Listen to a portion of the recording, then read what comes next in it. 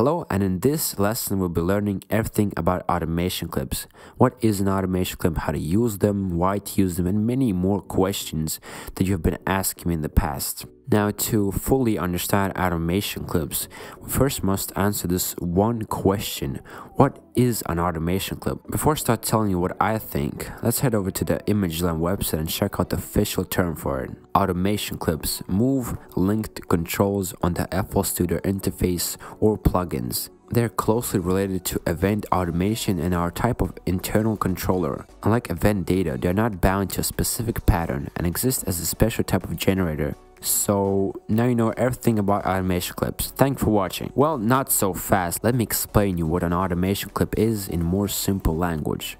I think an automation clip is an internal controller that basically controls a certain event for you automatically without you having to adjust it manually mid-song, such as a filter cutoff, channel pitch, channel panning, master volume, etc. Now that we got that out of the way, we can go to our second question, how to use an automation clip. Well, one simple way to get started is to choose what type of event you want to be controlled automatically for you. It's like choosing what car you want to buy. Do you want to have a manual gearbox so that you have the freedom to switch gear whenever you want? Or you want an automatic gearbox so that you don't have to worry about switching gears all the time and you can just sit back and enjoy the ride. For this example, I will be automating the filter cutoff of this lead.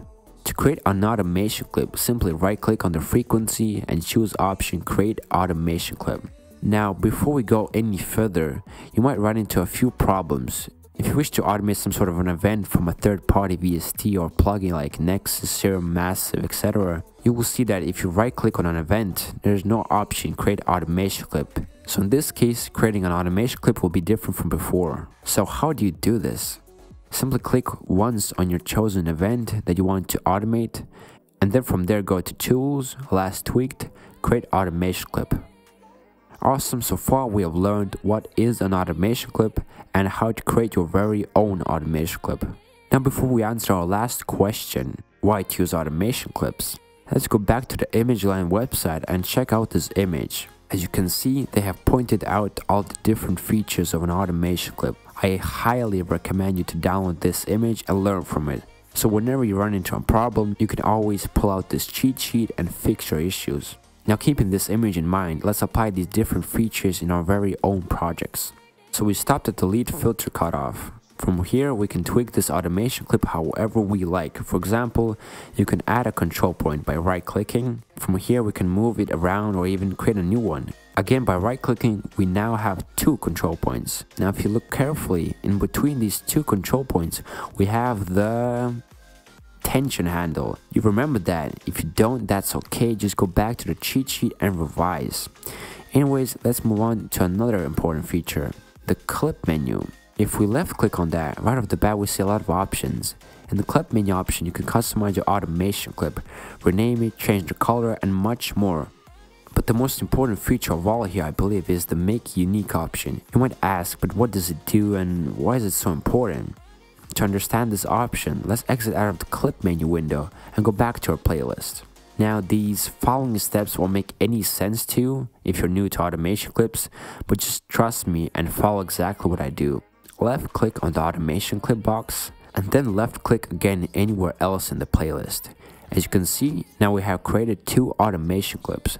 But what is the problem here? Well, look, if you move any of these two automation clips, it will automatically move the other clip with it, which is good and all, but what if you want the second automation clip to be completely different from the first one? This is where the make unique option comes in handy. Left click on the clip menu window and choose make unique.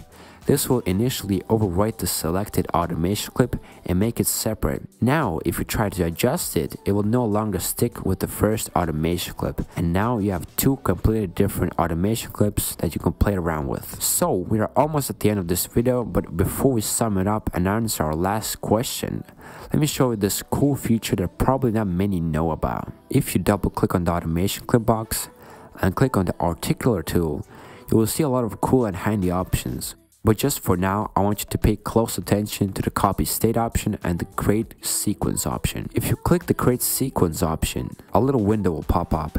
In this window, you'll initially create a cool pattern. You can mess around with this and make patterns without you even realizing that you can do that. Now that you have created your pattern, we can exit out of the window. Moving on to the copy state option. In short, it will copy all the settings you have on that particular automation clip. From here, we can paste all of the other attributes onto another automation clip. To do that, double click on the automation clip box, click on the articulator tool and choose option paste state. Now you have successfully copied all these attributes from one automation clip to another without having to replicate the exact settings that you had manually. With all this aside, let's go back to our initial question why should you use automation clips in the first place? Well, for instance, automation clips can make a song sound more interesting and versatile. You can add a lot of cool transitions and effects that will make your song really stand out. Without using automation clips, you'll have to trigger all the event envelopes manually mid-song, which will probably result into horrible results if you don't know what you're doing. Not saying that not using automation clips is a bad idea, but it is better to use automation clips to make everything move and, and trigger automatically. Anyway, hopefully you've learned something today and if you like this video, make oh sure to comment God. below on what you think oh, and Jesus. subscribe to the channel to just give some support. Thanks for watching, peace.